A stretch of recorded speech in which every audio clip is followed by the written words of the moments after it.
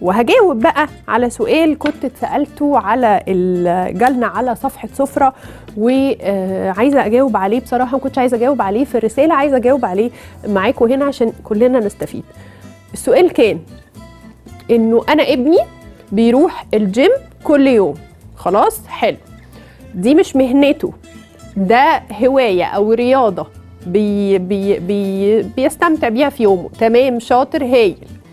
طالب مشكلة الست بقى إنه طالب منها كم مهول من صدور الفراخ والسمك السلمون والبيض في اليوم. وكمان بيفكر إنه ياخد مكملات غذائية اللي هي البروتين آه، وما يعني البروتين shakes وال powders والحاجات دي. بص بناء العضلات حاجة حلوة جدا ومهمة جدا. ولكن كل حاجة باعتدال حلوة. يعني حلو إن أنا هقعد أتكلم مع ابني أقول له إنه أنا مصروف البيت أو ميزانيتي مش هتسمح لي بكم البروتين اللي أنت طالبه ده. البروتين آه، مهم ولكن الزيادة منه ممكن تضر. فخلوا بالكم لو أنتوا لقيتوا ولادكم بياخدوا كميات مبالغ فيها حتى من البروتين الحيواني اللي هو الفراخ والسمك واللحمة وحتى لو إحنا نقدر ندفع فلوسهم ولو إحنا نقدر نطبخ كل الوجبات اللي طالبينها ولكن مهم لو حسينا الكمية زادت عن اللزوم نقول لهم نروح نتابع مع دكتور ويطمن على تحاليل الكبد والكلى. الموضوع مش بس ميزانية ولكن الجزء اللي اتسأل عليه هو الميزانية. فكانت بتسأل هل تفرق صدور من وراك؟ هتلاقي مدرب الجيم بيقول له لازم صدور.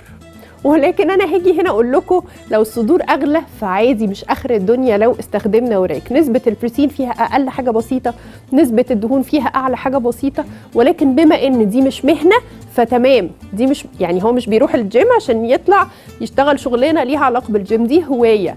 ف يعني ما تحبكوهاش قوي علشان إيه ماما أساسا بتبقى تعبانة واقفة تطبخ وعمالة تظبط ميزانية البيت فما نجيش إيه نزود عليها فكرة إنه عندي متطلبات معينة عشان أروح الجيم كل يوم عشان إحنا ممكن نروح الجيم كل يوم من غير الأكل المبالغ فيه.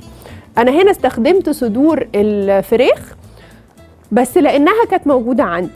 لكن أنتوا في البيت عايزين تستعملوا وراك عايزين تستعملوا شاورمه الفراخ الفيليه أي قطعية فراخ هتبقى هايلة في الوصفة دي. وجب إني أقول إنه المبالغة في إننا ناخد بروتينات طبيعية أو مصنعة كمكملات غذائية لازم تحت إشراف طبيب. ما ينفعش حد في الجيم يقول لنا أنت لازم تاكل كيلو فراخ في اليوم. انت لازم تاكل نص كيلو مش عارفة إيه. الحاجات دي كلها بتخرج من أجهزة جسمنا اللي هي الكلى والكبد. ومهم إن إحنا نتابع التحاليل عشان ما نجيش في يوم يبقى هدفنا كان يبقى يطلع لنا عضلتين ويبقى شكلنا مبالغ فيه آه، لذيذ من وجهة نظرنا. ونلاقي إن إحنا ضرينا جسمنا بصورة تانية وإحنا مش واخدين بالنا. أنا هطلع